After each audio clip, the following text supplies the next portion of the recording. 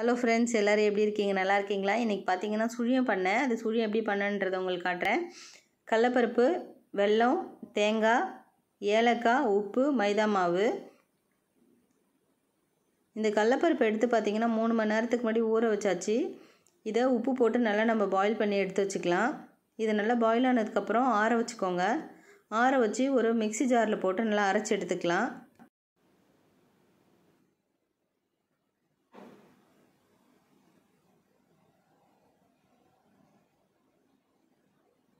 இந்தளவு நல்லா அரைச்சி எடுத்துட்டதுக்கப்புறம்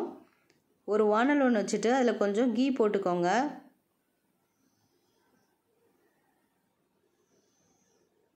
அதில் தேங்காய் துருவல் போட்டு நல்லா நம்ம வதக்கி எடுத்துக்கலாம்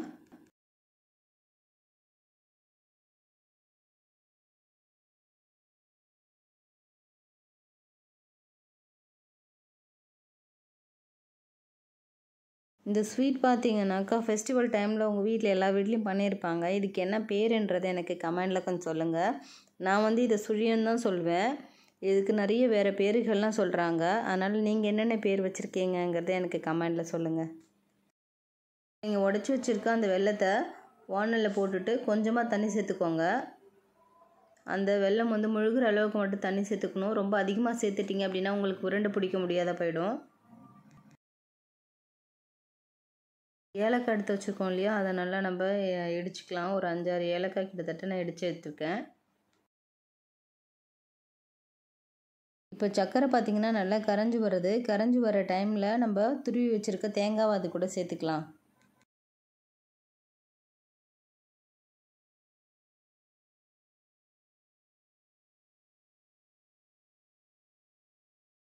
தேங்காவை போட்டு நல்லா கிளறிட்டு இருக்கும் போதே பார்த்தீங்கன்னாக்கா நீங்கள் அரைச்சி வச்சுருக்கீங்க இல்லையா அந்த கடலப்பருப்பு அதையும் இது கூட சேர்த்துக்கோங்க இதை நல்லா சேர்த்து மிக்ஸ் பண்ணிங்க அப்படின்னாக்கா உங்களுக்கு உருண்டை பிடிக்கிற மாதிரியான கன்சிஸ்டன்சி வரும்போது நீங்கள் ஸ்டாப் பண்ணிக்கலாம் ஸ்டாப் பண்ணிவிட்டு நீங்கள் நல்லா ஆற வச்சுக்கோங்க ஆற வச்சுட்டு நீங்கள் இடித்து வச்சுருக்க அந்த ஏலக்காய் தூளை பார்த்தீங்கன்னா அது கூட சேர்த்துக்கோங்க சேர்த்துட்டு நான் வந்து பா பாதாமும் முந்திரியும் பார்த்தீங்கன்னா பசங்க தனியாக கொடுத்தா சாப்பிட மாட்டாங்க அதனால் அதை வந்து நான் பொடி பண்ணி அது கூட நான் சேர்த்துக்கிறேன் இதில் கொஞ்சம் உப்பும் கொஞ்சம் சேர்த்துக்கிட்டேன் நான் உருண்டையும் ஃபஸ்ட்டு ரெடி பண்ணி எடுத்து வச்சுட்டு அதுக்கப்புறம் நம்ம மாவு ரெடி பண்ணிக்கலாம் மாவு பார்த்தீங்கன்னாக்கா கையால் நீங்கள் பிசைய முடியல அப்படின்னாக்கா நீங்கள் மிக்சி ஜாரில் போட்டு மைதா மாவை தண்ணி ஊற்றி நீங்கள் அதனால் அரைச்சி எடுத்துக்கோங்க இட்லி மாவு பதத்தில் நீங்கள் எடுத்து வச்சுக்கணும் அப்போ தான் பார்த்தீங்கன்னாக்கா நீங்கள் அந்த